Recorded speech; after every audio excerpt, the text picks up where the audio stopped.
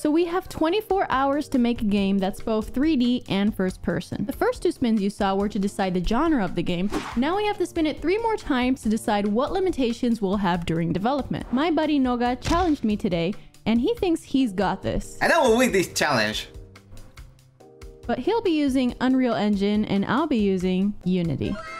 Alright, let's spin the wheel to find out the first limitation. No! DPI is how they measure the speed of your mouse. So essentially, we have to make our mouse super slow while we're making this game. I'm not a fan of that. Here's a challenge. Can you guess what the other two limitations are? As I develop the game, I'll be dropping hints and I'll be unveiling them later on in the video. Winner gets bragging rights. First, let's open up this bad boy and make a new project. For our parkour game, we need smooth controls. I'm talking butter sliding over hot pancake smooth.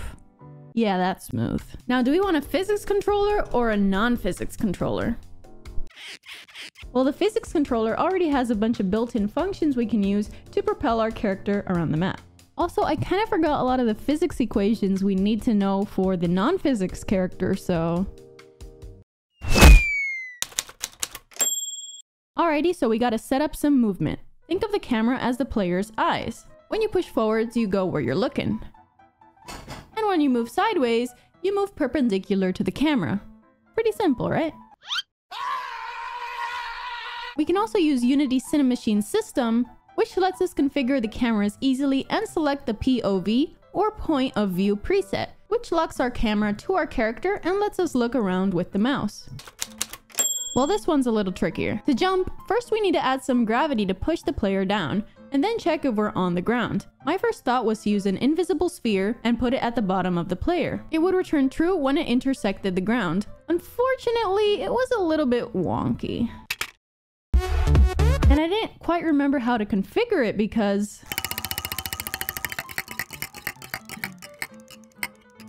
Well... Our second limitation was no internet. Did you get it right? Remember, you got one more limitation to guess, and it just keeps getting worse. Now, given the restrictions, I decided to go with a simple raycast, essentially a line that shoots downwards and detects if it hits what we've marked as the ground. Then we can just use this fancy line of code to add an upwards force to our character. Yahoo! Now we can't have a parkour game without some sliding. Since we can't see the player, it makes it easier because we can fake the crouching. When the player presses the crouch, we can say if they're moving forwards, they'll slide instead of just crouching. Our character has a collider that detects if it's hitting something and stops. However, we want to temporarily change this so the player can go under the obstacle. We can decrease the height of the collider by half and move it downwards, then reset it once the player is done with the action. I was having some issues with the character getting stuck under the obstacle. However, to get around that, I made it so that the character wouldn't stand back up until they were outside of that crouching area. Brief intermission to mention that this video is sponsored by Unity. If you want to make cool games such as this one, they have a ton of free sample projects showcasing different features, and they just released a new one for 2D light and shadow techniques using their universal render pipeline. It showcases dynamic 2D lighting so you can smoothly blend between day and night, you can now make your lights in the shape of sprites or images to give them more personality and customization. You can add a rim lighting effect, depth with normal maps, ambient lighting, shadows, and much more. You can check out the samples link in the description for more details. Alright, back to coding. I don't know if you've noticed, but I'm getting a lot of inspiration for this game from Mirror's Edge. Truly a classic. So of course we have to have wall running in our game and it's actually pretty simple. Just like we checked when we're on the ground, we can shoot a raycast to the side and detect if there's a wall next to us. If we're next to the wall and we're not on the ground, we can assume that we're wall running. If we're wall running, let's decrease the effect of gravity and remove the player's ability to press the left and right controls. And once the player jumps off, we can add a physics force in the opposite direction and forwards. Vaulting involves a similar process as wall running and jumping, but we check if there's an object in front of us. Then we calculate its height to see if we're able to vault over it, and then we move the player on top of the vault over a small amount of time. In parkour games, the movement and the level design go hand in hand.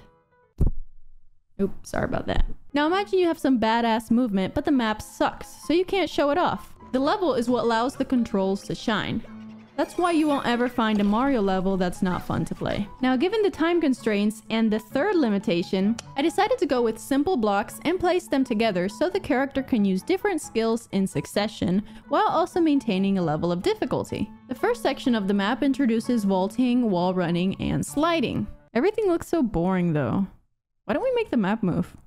With a few simple lines of code, we can set some parameters and have infinitely moving platforms in any direction. Small problem though. When the player jumps on the platform, they sort of glitch out because the platform pushes up against them. And when moving downwards, the speed of the platform doesn't match the speed of gravity of the player, causing the player to get disconnected from the platform.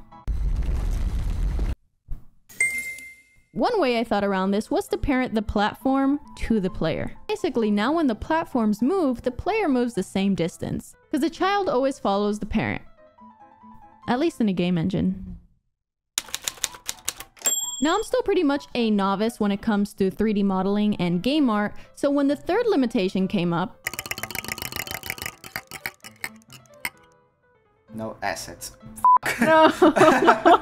Ah, no. Were you able to guess it? This means we couldn't use anything pre-existing outside of what we could make and the built-in features that the engine provides. So I was pretty discouraged, and since I couldn't use the internet to search up anything, I was thinking how I can add a little pizzazz to my map with my current skill set. Hmm. Hmm, there's no rules against using physical materials.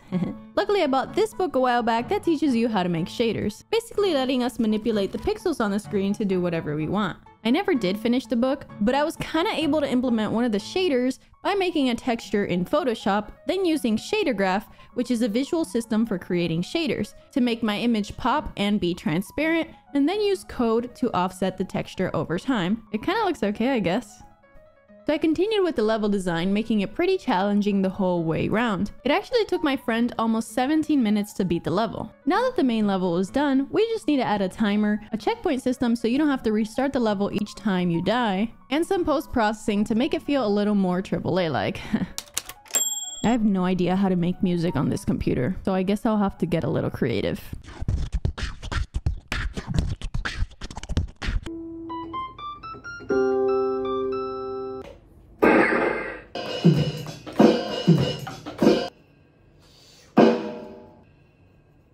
Okay, so I actually hate all of them, so we're gonna go with a simple beat. And that's that. In total, the game took me around 11 to 13 hours to complete over several days. Now, I could have done more, but my hands kind of hurt. Now, let's check back in with Noga and see who won this challenge. Bueno chicos, estamos ya en el juego de Samyam. Y como verán, es completamente sin texturas. I didn't have any assets to use. ¡Ah, el timer! Me gusta, me gusta. you can slide, you can jump. Oh, the, the jump is... Yeah, It's feeling right. I'm really heavy. yeah, I was having trouble. Oh, qué lindos visuales. O sea, se ve muy bien, pero se siente raro el movimiento. Es como si fuera súper pesado. I couldn't use the internet, so I was trying my best. Es como la gravedad multiplicada por 100 esto. Ah, Break and Fly. Y me estoy dando cuenta de que la música la hiciste con la boca, ¿verdad? sí, yeah. ¡Pero no llega! This is really weird. Thank you. No fue un halago. this uh, this part is really hard. ¡Pero no corre! ¡No puedo! Está mal Don't hecho. say that. No, it's not. I could do it. Lo voy a conseguir, lo voy a conseguir. ¡Ah! pe- oh, so close. ¡Oh! ¿Sí? ¡Lo hice! Es como si el piso estuviera patinoso. yeah, I think I left. I did that on purpose, or I left that in. Okay, good luck.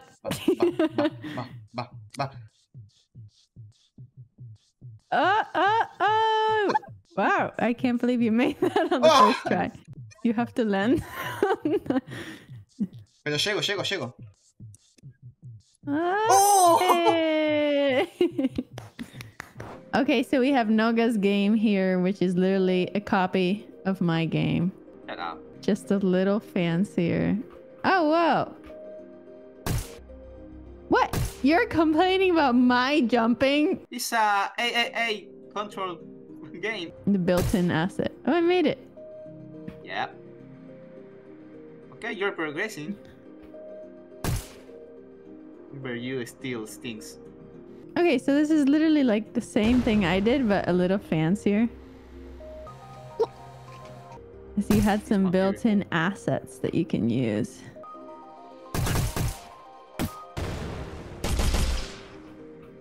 Oh. Oh! Ah! 2,000 years later. You stinks. Oh, okay. ojo, ojo, ojo. You're really bad. no. No, I'm not. Yeah, Your are. jumping is just fucking weird. No, it's perfect. No, I think my jumping is better. But I do think your level design it is was- better. I didn't think of this like little launch pad thing. Hmm. What? I... Ah! That's my time. If you can't beat my time, okay, you are better.